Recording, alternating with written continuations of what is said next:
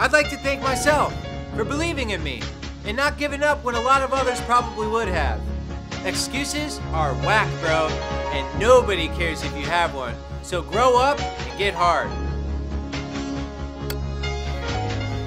And third, I'd like to thank my team, Kato and Ryan, for being there for me.